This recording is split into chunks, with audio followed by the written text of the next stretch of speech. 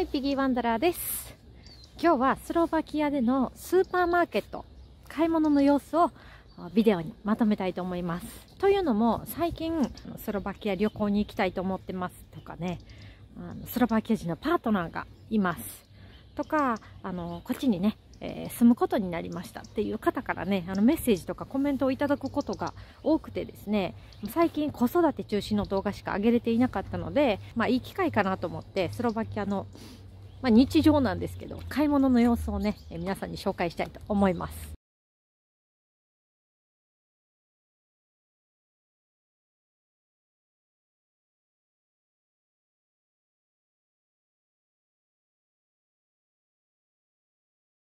はい。で、今日はカフランドっていうね、えースーパーマーケットの様子を紹介したいと思います。はいまちなみにですね、えー3月中旬なんですけど、2日前14度にまで上がって、うわ、春よきだなと思ってたら、あの、昨日ね、もうマイナス1度になって、あの大雪でね、雪が降って、今日ちょっと天気がいいので、ほとんど溶けちゃったんですけどね、また雪が残ってます。あの、こんな気温差があるスロバキアなんですけど、4月はね、えークレイジーエイプリルと呼ばれて、まあ、天気が本当にコロコロ変わるんですよね。一日のうちにすごい雨が降れば、ピタッと止んだりとか、まあ、本当にコロコロ変わるので、えーそういうふうに呼ばれてますね。はい、白い看板に赤でね、K のマーク、カフランドです。それでは今から買い物にね、行きたいと思います。ショッピングカートなんですけど、日本でいうコストコサイズの、まあ、大きい、はい、カートなんですけど、ここにね、えー、1ユーロか50セントか2ユーロを入れて、はい、アンロックして使うっていう感じですね。で、えーまあ、使い終わったらね、鍵があるので、これを挿したら、あの入れたコインがまた返ってくるっていう、はい、システムになってます。でも大体ね、あの、1台か2台はチェーンされてないのがあると思います。最近はね、どこのスーパーもそうなんですけど、入り口のところにこういう機械があって、ペットボトルとか缶とかをね、えー飲み終わったやつですね、持ってくると、まあ、お金に変わるっていうシステムになってます。スロバキアにはねネームデーっていうのがあるんですけどそのネームデーの時にはね女性なんかにはこうやってお花をあげたりするので、まあ、いつもね花は充実してますね。はい。でねえっ、とスロバキアのスーパーのいいところって日本と違ってパック売りがあんまりなくてバナナとかでも好きな本数だけね買えるんですよね。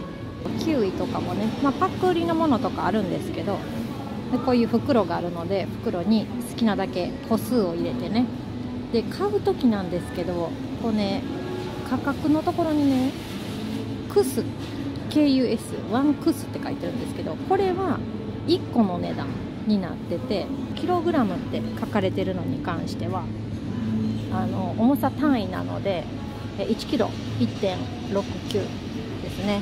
なので、まあ、バナナとかはね何本買っても別にいいんですけど重さをね測らないといけません。じゃやってみると例えばね。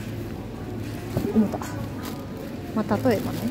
これ2本とかなんですけどもみんな好きな本数だけ選んで量り売りなんですけどここにねバナナを置いて測るんですけど最近ね英語のメニューができて例えばこれですね。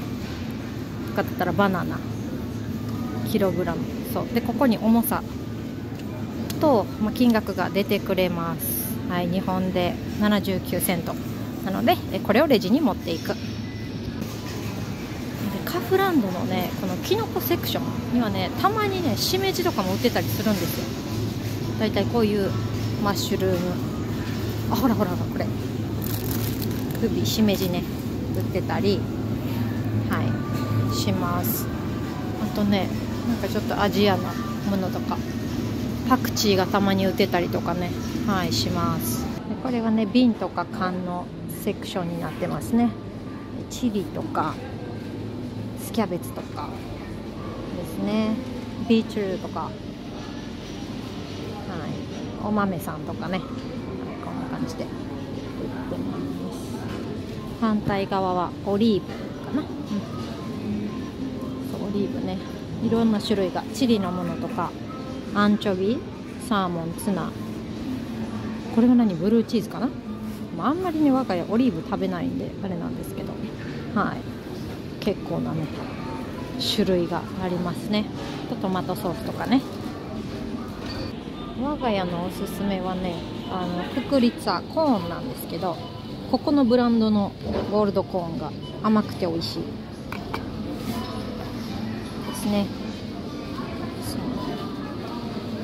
な感じかな？あとは缶のフルーツと。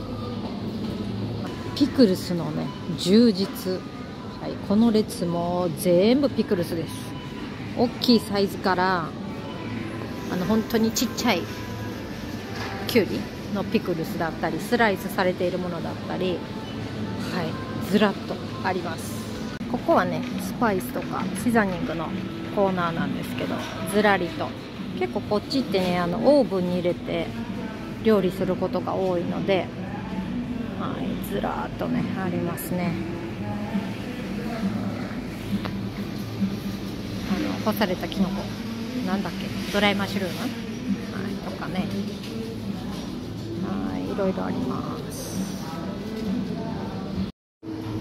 野菜とかね結構ねシンプルなのが多いんですよね。そうなんていうのかな。日本の野菜のコーナーと比べると、まあ、これパクチョイあのなんていうんだっけチンゲン菜かな？とか、まあ、ズッキーニきゅうりラディッシュとかね。大根。これはね時期によってある時とない時あるんですけどネギかな？ネギこんな感じで。これがねスロバキアのインスタントラーメンです。もうボウルにこの麺を入れてね沸いたお湯を入れて蓋をするだけっていうね日本みたいに炊くっていうことはしないのでこっちのねあのラーメンの作り方日本と違います。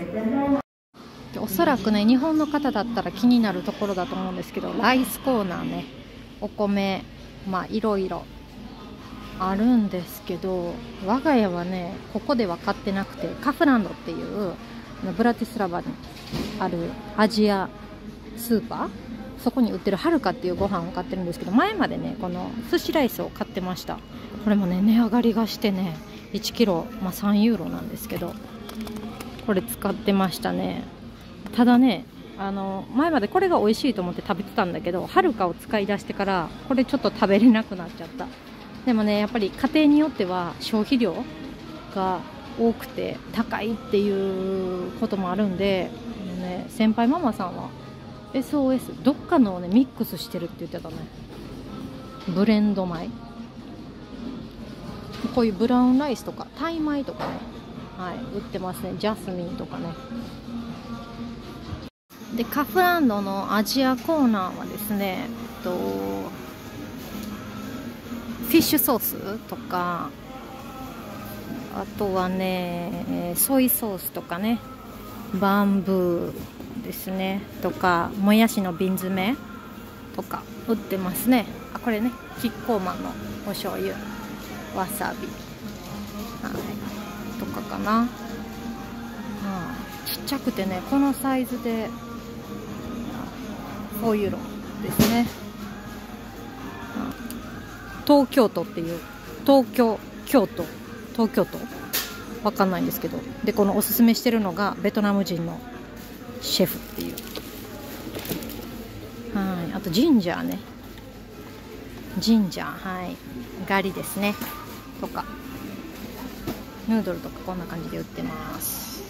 右も左もずらっと。ワインがね。私全然飲まないから詳しくないしわからないんですけど。そして、えー、こっちはねシャンパンとかリッカーとかね、はい、スピリッツ系ね。スリボピッツァとかですね。私があのちょくちょく動画でお話しするスリボピッツァ。になります。こんな感じ。すごいよもう量がね。でまあスロバキアのねあのお酒って言ったらこのタトラティーっていうのが人気なんですけどフレーバーティーって言ってねカシスとかピーチフレーバーとかあのここにアルコール度数書いてるんですけど非常に高いですね。これを、はい、ショットグラスで飲んだり他のお酒と掛け合わせて飲んだりするのが、まあ、人気ですね。でこれがねパンコーナーなんですけど、はい、スロバキアではパンといえばもう絶対欠かせないフリエブっていうんですけどこういう大きいねパンがあってで横にこういうスライサーがあるので中に入れてねカットして持って帰るっていうことができます。甘い菓子パンとかドーナツとかはこんな感じで売られてます。はい。私はねパンオショコラとあとクロワッサンが好きなので、はい、クロワッサンとかね。スロバキアで食べれる魚といえばですねこのイワシの酢漬け。ザビナーチっていうんですけどはい。ハムとかこんな感じではい売られてます。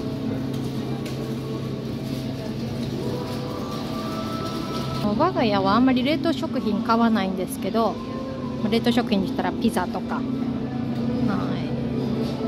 い。かな。冷凍のお野菜とか。とは、まあ、スロバキアはね新鮮なお魚っていうのがなかなか手に入りにくいのであ春巻きとか持ってるかな、はい、パエリアとかね、この辺りは私は手を出したことがないですね。シーフードとかも冷凍のものが、はい、売ってます、ね、スロバキアで食べれるお魚といえばはい。この酢漬けになってる魚とかあとはトラウトですね。これがね結構美味しいんですよ。マッカロサバかな。サバのね燻製。はい。日本でいうあのサバの塩焼きみたいな感じ。しょっ辛くて。でね1本ね1匹あの1ユーロしないんですよね。ちょっと今ね値上がりして高いんだけど。はい。こういうのが手に入ります。お肉セクションね。リバーとかミンチ。鳥とかね丸々並んでます。これちょっとグロテスクなんですけどね。チーズもねもうブロック売りでね数がものすごく種類がすごく豊富なのでミッキーはね日本に住んでた時なんで日本ってチーズちょっとしか入ってないしその上高いのって言ってよく言ってたんですけどスロバキアはねチーズの数お肉の大きさすごいですね。サラミとかねソーセージとかね。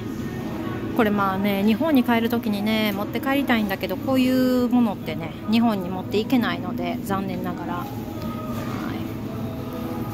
こっちに来た時にね堪能してもらうしかないんですけど。めちゃくちゃあるの。ハムの種類も多い。でね、まあ、海外生活でね卵を買う上でね注意してほしいのがプラスチックのケースじゃないんですよね。だいたいこういう紙のパックに入ってるんですけど中身をね絶対開けて確認してあと底とね割れてないかっていうのを確認してから買ってください。結構割れてたりとかねそういうことがあるので、はい、確認大事です。カーフランドはね食品から日用品とかあの大体のものは揃うんですけど私こっちに来てびっくりしたのがねデオドラントの量。分かります？ここからここまで女性用のデオドラン。すごいでしょ？上から下までずらっと、はい、で男性用に関してはここからここまで。すごいよね。日本ってさあのデオドラントそんなに充実してないじゃないですか。そうこっちはねすごいんですよ。もうイースターに向けてですね年明けてからかな1月終わりぐらいからもうすごいどこでもイースターのデコレーションとかがすごい並ぶんですけどじゃあねお菓子ですね。チョコレート。これオプラトゥキコロナだって言ってねこれ結構好きでお土産とかでも買ったりするんですけどチョコ味とかヘーゼルナッツバニラ。はいゴーフルみたいな感じですね。そここのが結構美味しい。スロバキアのねお菓子といえば Horalky。あの Horalky ですね。はい。なんせねウエハースにチョコレートをコーティングしてるっていうお菓子がめちゃくちゃ多くてこれこのコーナーで言うとはいここからずらっとね。はい。ウエハース。です。はいはい。イースター用のね卵型のチョコレート。たくさん売ってます。これねほんと売れ残ったのどうするんだろうって思うんですけどいつも。すっごい量売り出すの。イースターに欠かせないクローバーチックっていう女の子にお水をかけてお尻を叩くっていうね。はい無知なんですけど我が家はこれ手作りするので、はい、しない方はねこれを買います。スロバキアといえばピボ。ビールですね。はい。ビールです。ずらーっとあります。スロバキアのビールってねお水よりも安いって言われてていや本当に安いんですよ。でもまあ最近ねあの値段が上がってちょっと高くなったんですけどそれでもねあの安いですね。で基本全部ロング缶日本みたいにショート缶じゃなくて全部ロング缶が、まあ、こんな瓶売りですね。ほらこれなんて49セントとかですよ。ミッキーがよく飲むウルピナやったかな。違う。ピルスナーか。ピルスナー。あこれちょっと高くなってるな。はい。1.39ね。あとどこのよく飲んでたかな？はい。こんな感じでね安いです。でスロバキアってね香水なんですよ。お水がすっごい硬くて赤ちゃんにはね飲ませられないので軟水をねあの買うかあのお湯を沸かして冷ましてから使うっていう風にこうねこういう赤ちゃん用のお水が売ってます。軟水のね。でお米を炊く時にねこの軟水を使うとご飯が美味しく柔らかく炊けるっていうことを教えてもらって、はい。まあ、毎回毎回使ってられないんですけどね。そういう豆知識もあります。はいそれではね、えー、買っていきましょう。普通のレジとセルフレジがあるんですけどまあ、英語にもできます。英語にしてみようかな。はい English にしてはい。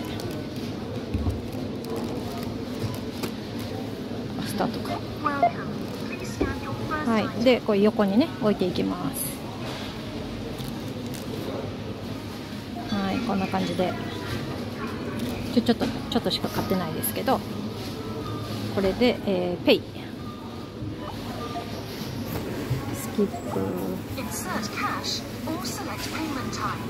でこれ選べるのでキャッシュカードギフトカードとか選べるので私はカードで。はい。